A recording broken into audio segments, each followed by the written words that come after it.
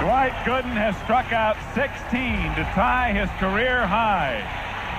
He has won his 13th game in a row.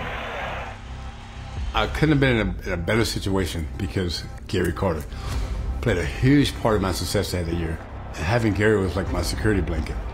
He, he wanted the best out of me, and having Gary, he made me feel like you're the best in the world. Nobody can hit you. These guys don't want to face you. He knew the hitters. He knew the hitters' weakness. And so I just basically trusted Gary with the experience that I had from the previous year and put that together. It probably took about eight starts before I really felt like this year is something special. Strike out of the ball game for Dwight Gooden. Man, are you kidding me? I always said that I finally got to play behind a full season with a Tom Seaver, a Warren Spahn, a Bob Gibson, Bob Feller. That's what it was. Doc had his one good rookie year because what's what's he going to do this year? Hitters make adjustments. He winds up having a Cy Young year.